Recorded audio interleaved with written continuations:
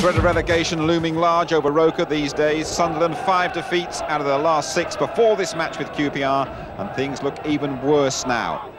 Andy Tillson heads home the only goal of the game on 48 minutes. His first goal for Rangers.